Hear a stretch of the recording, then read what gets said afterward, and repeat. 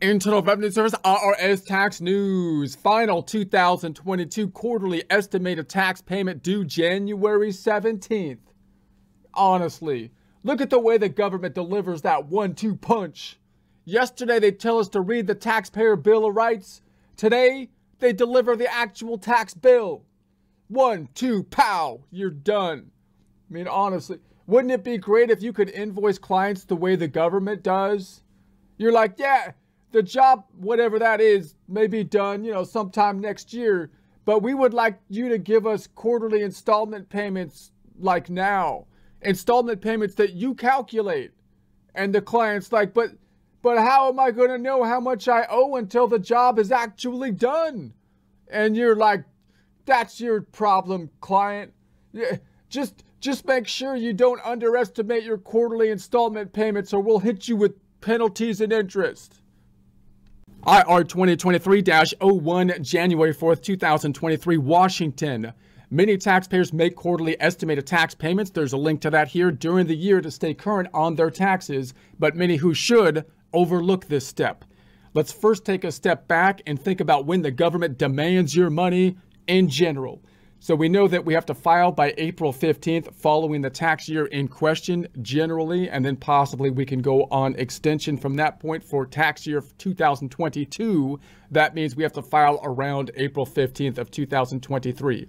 Now that leads a lot of people to think that they would have the option if they so choose to pay all of their taxes by April 15th of 2023 for tax year 2022, but that the government's kind of trying to help them out by making installment payments during the year or withholdings from the paycheck during the year. But that's not that's, not exactly the case. The the real idea here is the government wants their money sooner and therefore they're going to impose penalties and interest if you don't make the payments sooner. So you don't really have an option of saying, well, I could just pay this lump sum at uh, when I file my taxes, but I'm going to decide to make the payments earlier than that in order to in order to not end up with this tax bill at the end. No, what you're really doing is you're paying the taxes earlier than that in order to avoid penalties and interest. And it's kind of an important distinction because I think the government kind of implies that that's the case as well, that they're basically helping you out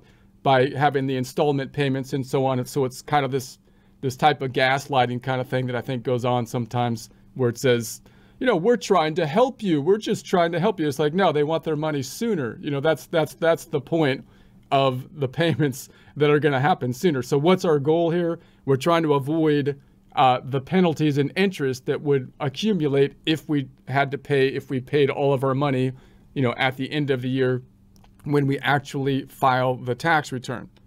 Okay, so how is that normally going to be done? Most people are going to be W-2 employees and therefore they're actually required that the employer is required to make withholdings based on the information you give them on a W-4 type of form. And this could be somewhat convenient, but again, it kind of results in us as the taxpayers being somewhat passive, not actually engaged in the process. So, so sometimes we don't understand exactly how the whole system is working with it. And that could be an issue when we move from that kind of system, when they're just taking it out automatically from our paycheck to, like, say, we have our own business, we start gig work, we start some work on the side, or even we work our entire careers with the money being pulled out of our W 2. And then in retirement, we have a bit different structure because now we might be taxed on the money that we take out of our, our retirement accounts, and we have to deal with estimated tax payments in a way possibly that we've never had to deal with uh, in the past because we've been kind of a passive participant because that's the way the system's been set up uh, at that point in time. So a lot of people when they move, and this has happened a lot in the last couple years because people have been shuffling around in different jobs and possibly picking up gig work and so on. They get into uh, a gig work or Schedule C type of business, their own sole proprietor business, and they just don't do the tax part of it correctly and basically wait until the tax time happens when they file the tax return and then they get hit with a huge tax bill. So even when the business was doing well, they they didn't take into consideration the massive amount of taxes that come into play when you're talking about income taxes as well as self-employment taxes, both the employer and employee portion of those self-employment taxes. So the bottom line is that if you're if you're picking up the gig work or if you're thinking of moving from the W2 to a Schedule C type of business, you want to make sure that you're doing the estimated tax payments because again, you don't have the option of just waiting until you file the tax return. You got to make the quarterly payments to avoid the penalties uh, and and interest on it.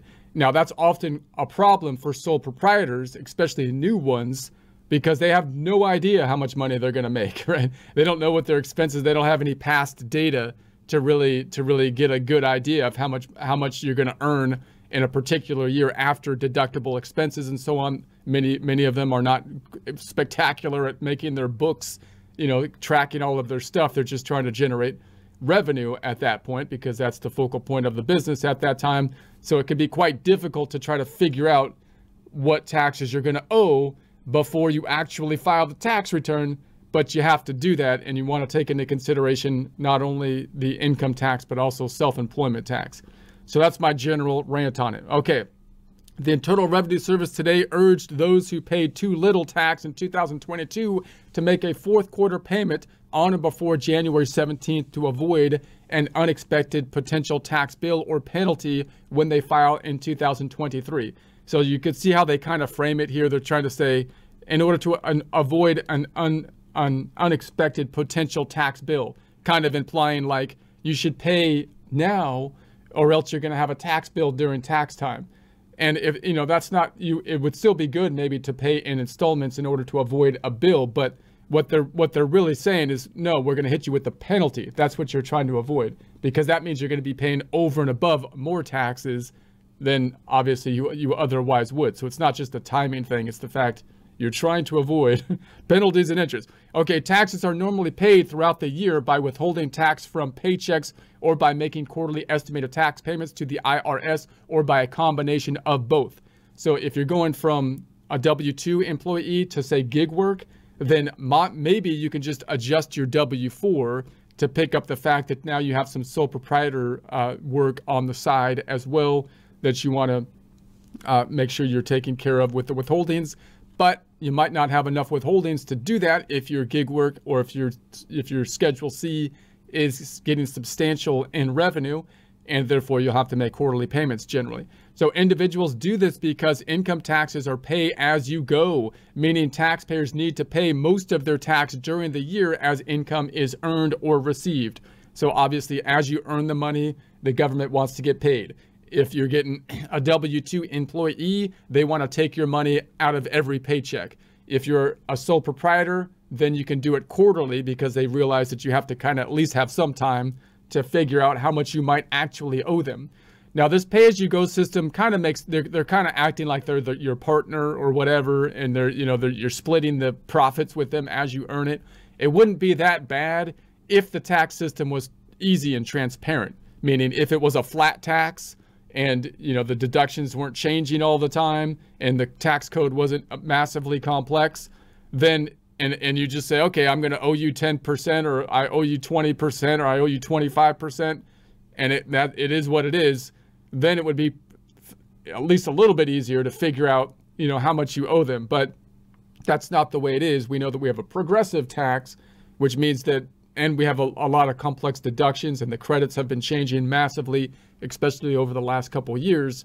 So that that means it becomes much more difficult to kind of project what you, what your taxes gonna, are going to be especially if you don't know what your income will be at the end of the year because your tax rate will be dependent upon how much money you made in terms of the tax brackets right? So if you you can't just say all right well i earned 20000 in the first quarter so i'm just going to pay you you know, 15% of that. Well, you might not be in a 15% tax bracket. You might be in a higher tax bracket depending on your yearly earnings, not your not your quarterly earnings or your monthly earnings. So that's where the complexity comes in where you just most small businesses they just don't know, right? They, they have no idea, you know, how to approach that a lot of times. So who needs to make a payment? Taxpayers who earn or receive income that is not subject to tax withholding, such as self employed people or independent contractors, should pay their taxes quarterly to the IRS. In addition, people who owe tax when they file their current year tax return often find themselves in the same situation uh, when they file their next year Taxpayers in this situation normally include those who itemized in the past but are now taking the standard deduction, two wage earner household, employees with non-wage sources of income such as dividends, those with complex tax situations and or those who fail to increase their tax withholding. So the general idea would be that I can kind of predict my future taxes based on what happened in the past. Now, there's a problem with that right now in the fact that the the tax code has changed massively over the last couple years. So so and also on the low income side of things, right? So it's gonna it's that makes it a lot more difficult to kind of make projections about your tax bill in the future when the tax code is changing a lot on on a year to year basis. So so you have to actually do more kind of complex projections to try to get an accurate feel. Also, people's movements between jobs have been changing massively over the last few years as well, and they've been moving in and out of multiple jobs and going from from W-2 jobs to to gig work. So again, you can imagine in a situation where you had like a one-income household that was that was uh, in a tax situation where the tax code didn't change a lot, that even if the tax code was complex, you can come up with a fairly good estimate after a couple years.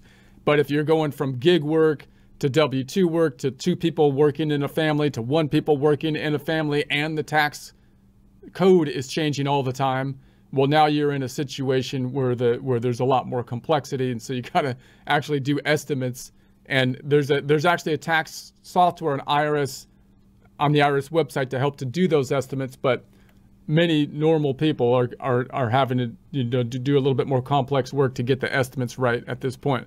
So what's taxable? The IRS reminds people that most income is taxable. So the code generally says everything's taxable that, that uh, unless we say otherwise on the income side. So it's kind of that's the kind of way it's set up. So this includes unemployment income, refund interest income, and from the gig economy. They want to stress that one. There's a link to the gig economy and digital assets. When estimated quarterly tax payments, taxpayers should include all forms of earned income, including from part time work, side jobs, or the sale of goods. Also, various financial transactions, especially late in the year, can often have an unexpected tax impact. Examples include year end and holiday bonuses. So, obviously, if you based your tax withholdings on a set of income and then you got a bonus that was not included and the bonus was substantial, then then that's going to throw off your whole all your estimates that you made before because that could put you in a different tax bracket. Stock dividends, similar situation. Capital gain distributions, similar thing. Uh, mutual funds, stock, bonds, virtual currencies, real estate, or other property sold at a profit.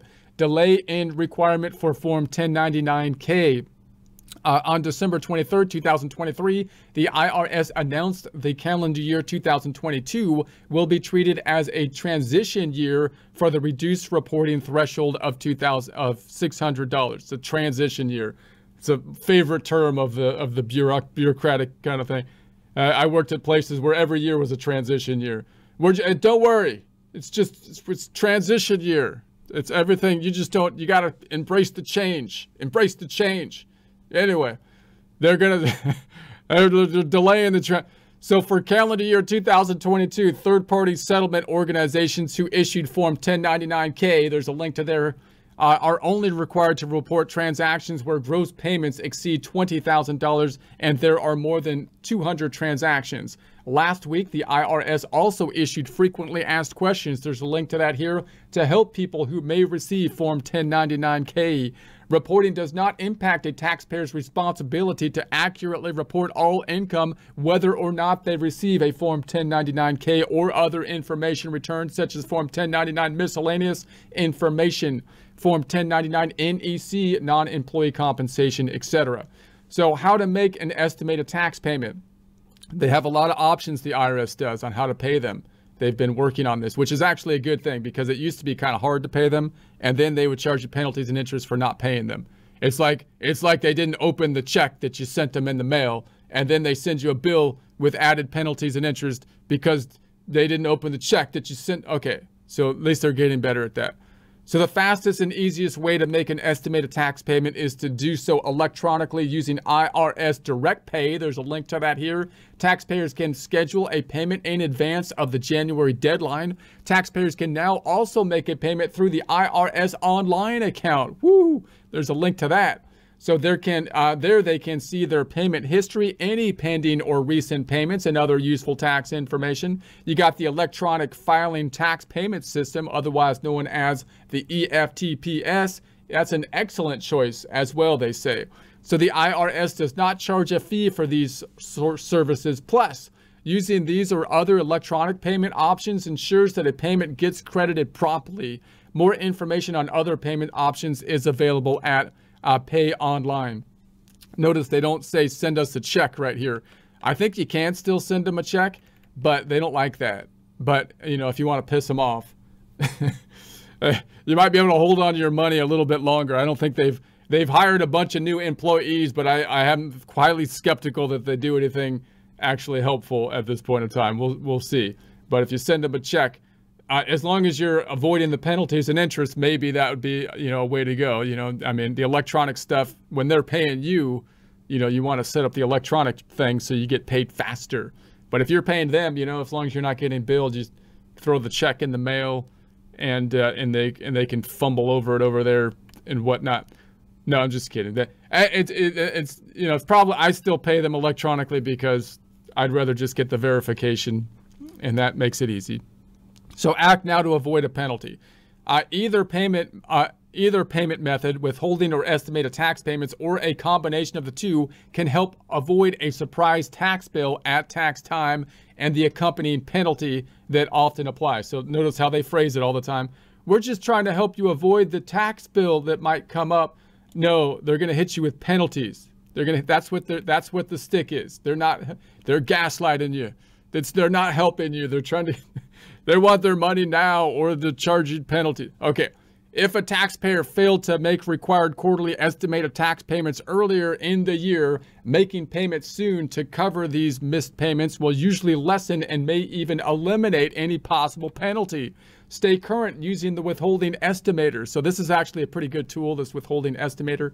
And you, almost everybody, I think, has to use it these days because of all the changes in the tax code. If you're going to get your tax withholding right, whether you need to adjust your W 4 withholdings with your employer or possibly adjust your withholdings as a self employed individual or for estimated tax payments.